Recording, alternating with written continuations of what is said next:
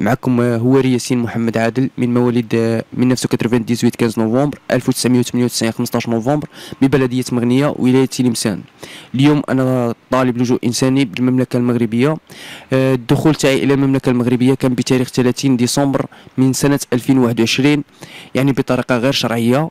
وكنت آه، بعد تقدمت يعني الأسلاك الأمنية وهما اللي كانوا وراوني من نمشي يعني نعتوا لي البلاصة المختصة في هذا الاختصاص اللي هي مكتب مفوضيه الساميه الأمم المتحدة لشؤون اللاجئين بالرباط.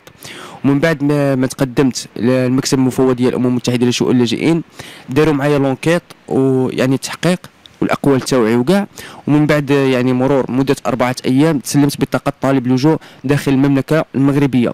أنا كنت خرجت من الجزائر يعني بعد معاناة واضطهاد وتهميش تعسفي من طرف الأسلاك الأمنية داخل ولاية تلمسان ومن طرف العدالة لدى بلدية مغنية وكذا ولاية تلمسان يعني بعد عدة معاناة من طرف الأسلاك الأمنية لدى ولاية تلمسان بعد يعني آه، كما نقولوا محاولتهم مني العمل تحت سلطتهم كعميل متخفي في من أجل إلقاء البحث على الفارين من العدالة داخل التراب الجزائري وكذا الإفشاء عن أماكن تواجد المخدرات بالرغم من أنني ليس لدي صلة بأي أمر من هذا ولم يسبق لي من قبل أن تواجدت بالسجن بتهمة مماثلة لهذا. بعد رفضي لتطبيق أوامرهم ثم يعني اقتيادي إلى السجن في ثلاث مرات بطريقة يعني تعسفية وليس لي علاقة بأي تهمة كانت منها إلا التهمة الأولى التي تمت محاكمتي فيها بمدة شهرين.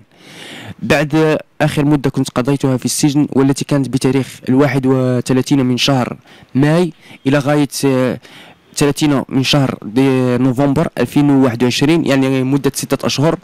بعد الخروج مباشرة قررت التوجه إلى المملكة المغربية قاصدا للجوء الإنساني بها خاصة وأنها كانت لي معرفة يعني دقيقة بالمملكة المغربية.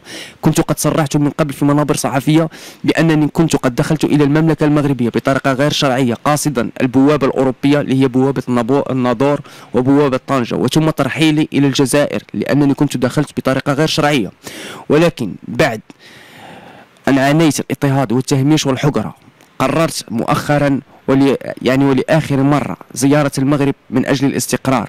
وهناك بعض الأشخاص وبعض القنوات الجزائرية من قاموا بنعسي بخائن الدولة الجزائرية. أوجه هذه الرسالة إلى تلك القنوات الجزائرية والصحافة الجزائرية التي تريد تشويه صورتي وضرب يعني السمعة الخاصة بي. أنا لم أتقدم باللجوء إلى دولة أوروبية. فهل من يقدم اللجوء ويطلب اللجوء داخل المملكة المغربية يعتبر خيانة للدولة الجزائرية؟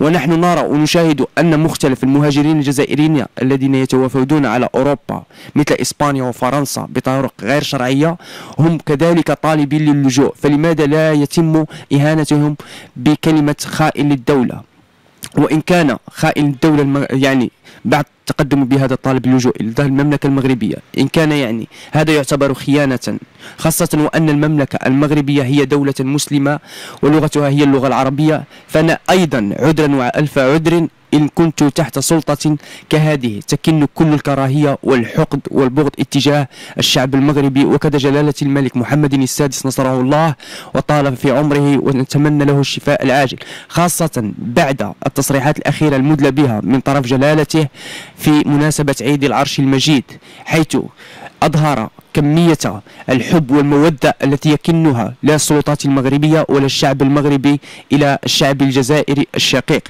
هذا ما تم بثه على قنوات تلفزيوني وعلى لسانه.